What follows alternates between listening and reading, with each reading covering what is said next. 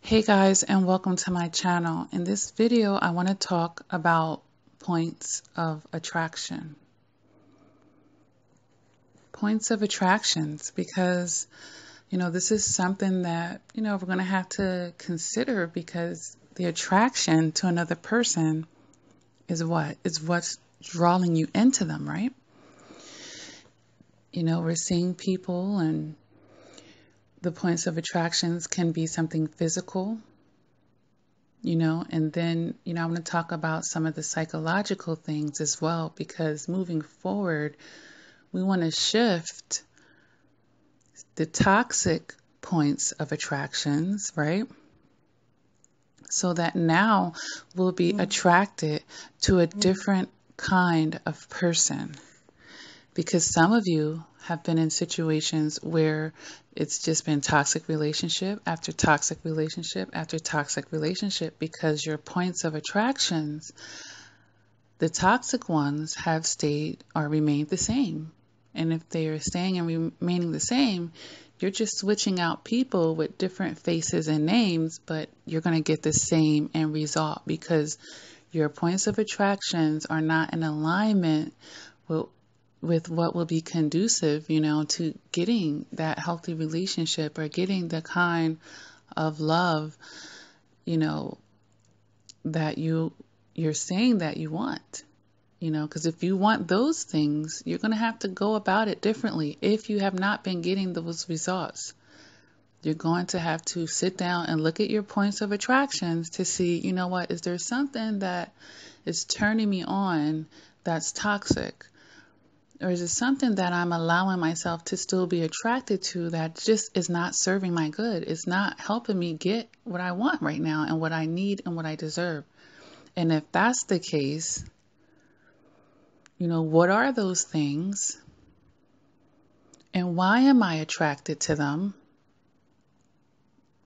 And how can I now reverse that as well? All right, so that's what I want to uh, want you guys to be considering. All right, because you can learn all about narcissistic abuse, but if you know we want to make a full circle with things, so you're going to learn about the narcissist. You're going to go back out there and start dating again, or start befriending people or people will come to you and you're not going to sift through them differently, you know, because you're not considering also your point of attractions as well. Okay. Now, this is, you know, in a romantic type of settings, you know, these are what are your deal breakers with people, or do you even have them? You know, a lot of times survivors have been so loose with their boundaries in this area um, that they're just bending. Well, I said I didn't want to date anyone um, that was going through a divorce, but you know, oh, they're they filed their paperwork, so you know, maybe I'll just allow myself to emotionally attach right now, even though they're not free and clear yet.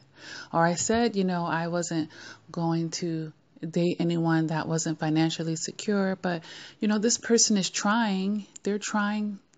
So maybe I'll just, I'll bend on that and then it ends up becoming an issue because they weren't really trying the way that you thought, you know, and you were going off of their, um, oh goodness, what is the word for it? um, you weren't going basing things off of where they were, but you know where they could be, you know, and that is very risky. And I don't advise survivors to do that. You know, you guys have been through so much trauma that you need someone that's pretty much ready made. You know, I'm not saying that a perfect human being because they're not out there, but a pretty much a, a ready made and the word that I couldn't find was potential. you were going off of potential, you know, which can be a very risky thing. And then, you know, some of us really have to think about within our points of attractions, you know, are we so led by our flesh that sometimes we will let it override our common sense and our logic and knowing this person is toxic for us in so many ways, but yet we we're not resisting them because our point of attraction is led so hardly through our flesh that it's controlling us, you know? like, oh, I love a tall and dark, handsome man. And yes, he has five baby mamas and he has a whole history of failed relationships. But, you know, I want to give him a chance. He's so handsome and charming. And, you know, he says, you know, he's ready for the real one now. And, but he has like this proven history of not, you know? and then we think and hope you know that we'll be different. And i made videos on on that on thinking that will be the exception. And oftentimes that is just simply not the case. It doesn't mean that people cannot make a shift and a change but you know i don't recommend survivors survivors take on risky people like that because you guys have been through the most you know, you have been through the most. And yes, everyone has a life and has had this and that and has been around the block, but you know, that's way different than someone who has a perpetual pattern of making families all here and there and everywhere. And now they're here in front of your face. Okay? But, you know, this is all about our points of attractions. So, yes, okay, he was tall, dark, and handsome, that fulfills my eyes and my physical points of attraction. But, well, goodness, his track record right there overrides all of that because I really need someone that can finish what they start, that can be reliable to me, you know. That has to override that flesh and, and that particular situation because then we're setting ourselves up to be the number six you know, because we know how those narcissists come in, they want to get you pregnant, they want to lock you down, and you know, and then it's going to be on to the next when they get old and tired or bored with you. And now you're going to feel like, you know, you're sucked in and you have this child and you want to try to make it work. And, ugh, you don't want those issues. You don't want those issues. So, you know, thinking, thinking about your points of attractions. And for my male listeners out there, I've said this in other videos for you guys. Yeah, just going on that external. She looks like my dream girl, but you got to make sure the inside matches. What are your points of uh, of of attractions? What are the real virtues that you're looking for? Let's say that you're wanting a wife. Okay, or you just, oh, I just need that arm candy, but then you get this plastic person and you know she's not going to fulfill you emotionally. She's not going to have that nurturing to you. She's not going to appreciate you because you know you're not really making sure you're looking at those inner virtues. And that goes for everybody. So you know your points of attractions. And then some people have this rescue thing you know where they will meet the most broken person and start a relationship with this person and all their emotional baggage and all the things that they need to be correcting and getting themselves together before they even present themselves to another person. But yet, you meet them and it's like you're going to dust them off and you know what? Yeah, this person is going through this and that, but they just need a loyal person in their life. And, you know, I'm willing to do the work with them. And once we get over this mountain and that mountain and this mountain and that mountain, we're going to have a happily ever after. They're going to see how loyal I am, and we're going to ride off into the sunset. No, what usually happens in those cases is that person has had many good people probably come into their life and try to help them. And they've burned every bridge because they are emotionally immature and just overall immature and ignorant, and they're not willing to put in the work. They're looking to be rescued. They want you to do the work, but when you're doing the work, they're not doing the work. So you're vibrating high and they're vibrating low, and then they're just basically being an energy um, vampire and a material vampire sucking from you, right? They're sucking from you at that point, but they're not putting anything back in there.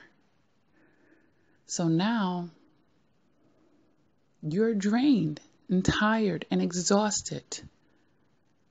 And it's just a horrible setup because the relationship, you're going to have to keep it that way. You got to keep giving them your energy to sustain them to where you want them to be and they're not even there. You're the one that's there. and they're sucking off of you. And how long is that going to last before you hit the ground? Okay, because you're doing too much. You know, when someone has all that going on in their life, they are supposed to get themselves together and have some type of respect and dignity about themselves before they then go and present themselves to another person. You don't bring all of that to another person. No, you get yourself together, you do your work so that you can be the best you and attract someone that's equally yoked to that. But with the points of attraction, sometimes the survivor they want to rescue because they've been programmed to be the sacrificial lamb. They are used to being in lopsided relationships. They are used to giving more than they get. You know, um, they're just used to doing that. So it's a toxic pattern that's continuing that's going to end up getting the same result because you're not realizing that point of attraction in you of wanting to be somebody's fixer. Instead, it should you have to reverse that and it has to become a turnoff. like wait a minute. You have your your finances are horrible. You, you, your work situation is not right. You're battling this addiction. You're not taking care of your children.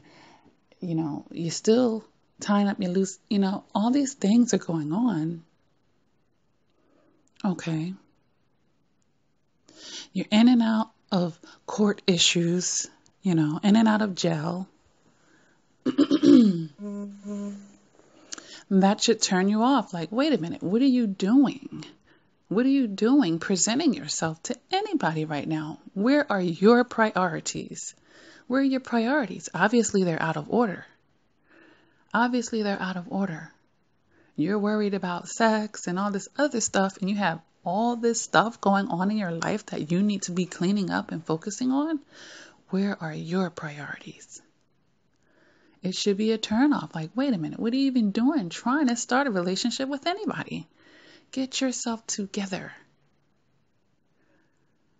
Okay? I don't care how tall, dark, and handsome you are. I don't care how beautiful you are in those hills and your silhouette. You know? This is what I'm talking about with the points of attraction the points of attractions. And then, you know, some of us we really have some toxic ways about us. We like that hot and cold. We we like to chase people. You know? We like to chase them. There is a difference between pursuing someone and chasing them. You shouldn't have to be chasing love. That's not healthy. Those are games that adults should not be playing. Nobody should be chasing love. And if you feel like you've been chasing love, chances are you've just been chasing a toxic relationship. It's not even love that you're chasing because love surrenders.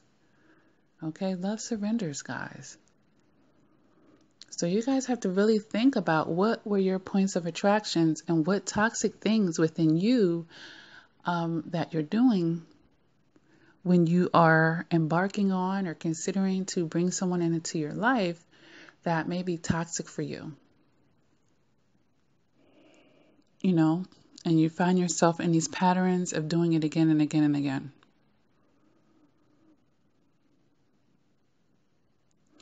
So it could be, you know what, I always jump into sex really fast and then I'm emotionally attached and then I don't know how to walk away when I figure out they're not bad for me I mean that they are bad for me in every way and but I enjoy them physically, you know? So your point of attraction was the physical, you know, was the sex. And you're leading with that when, you know, yes, sex is a part of a healthy relationship. But you need trust, you need communication. I would think you would want to have love there you know, you need those building blocks and the foundation. or else it just cheapens the whole experience and then you get a cheap result instead of something that is everlasting and fulfilling, guys. So maybe it would be for you, hey, you know, moving forward, I'm gonna, you know, I'm gonna take my time. I'm gonna take more time before I get physically, uh, you know, intimate with someone. I, I'm, I'm gonna go in their head first. I want to get to know their mind, their heart, you know, their spirit.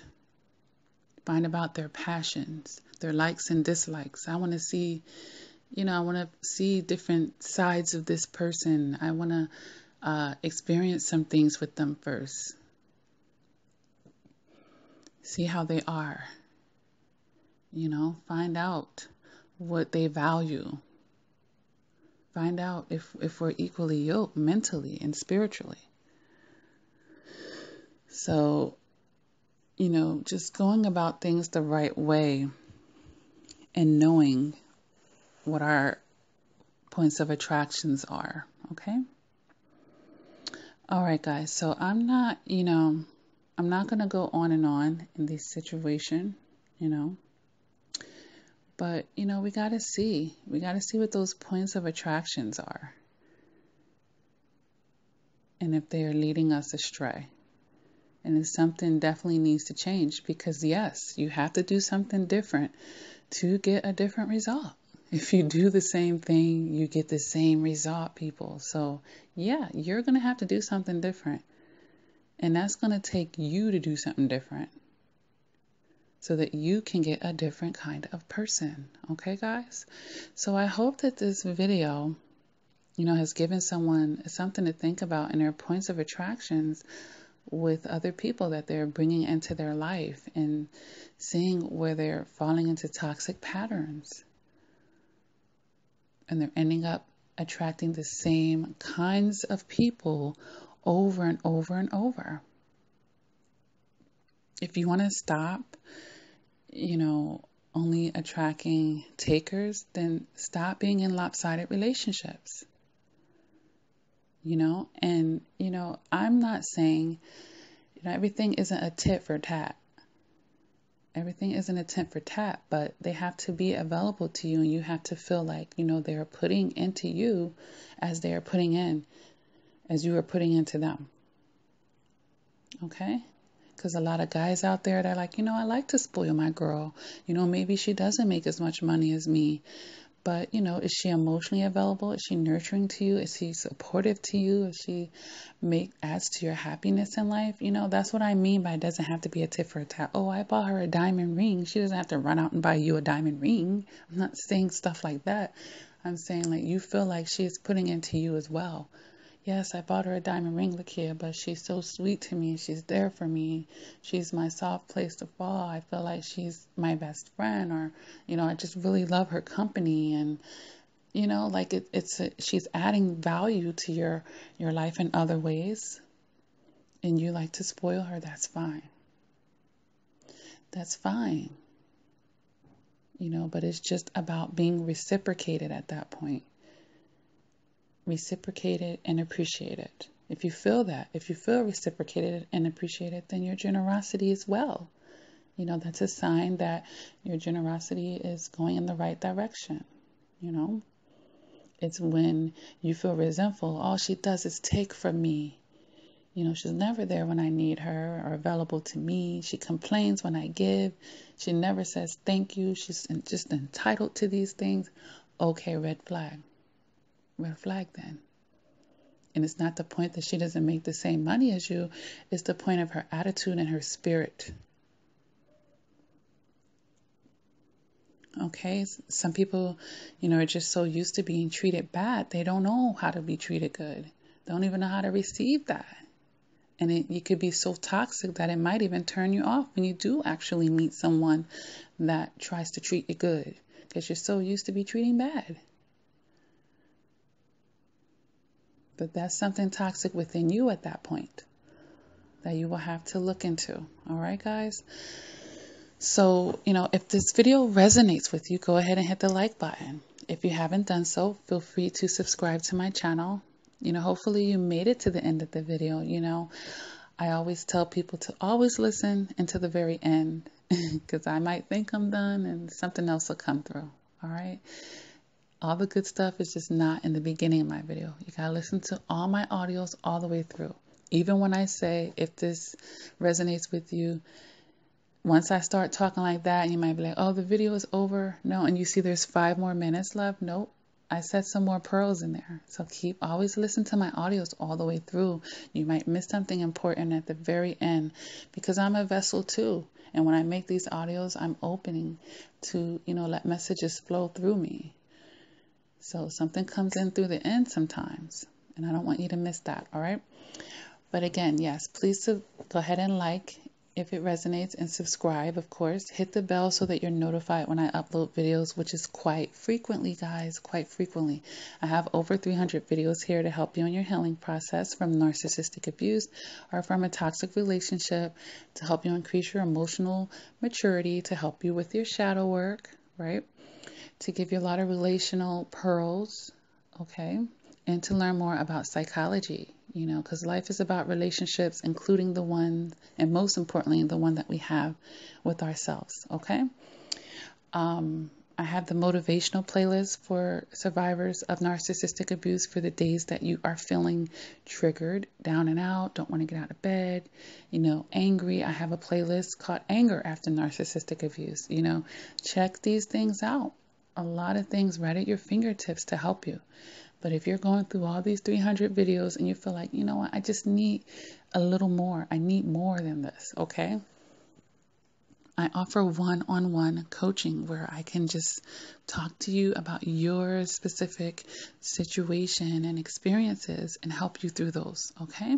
And I do this through voice calls, I do um, FaceTime and I do Skypes and I even do email coaching because writing is therapeutic. You can schedule at www.lakiacrawford.com or you can email Coach Lakia at gmail.com. Some people message me on uh, Facebook Messenger, Instagram. People find ways to get a hold of me. There's a lot of contact information. All of them are fine. But if you want the smooth selling, quick, fast, easy, go to the website, select your time and, you know, pay for your session and you're booked. And I will see you at your session. I always recommend that you write down your questions ahead of time, you know, because sometimes the time flies. It's an hour session. And, um, you know, I don't want you to forget any important things. All right. I have books, guys, that you can order through my website, lakiacrawford.com. You could get a signed copy of that, or you can go to amazon.com, Barnes and Nobles, Create Space and you can get the ebook or um, non signed copies through those uh, avenues. Okay, I have no narc zone merchandise, guys.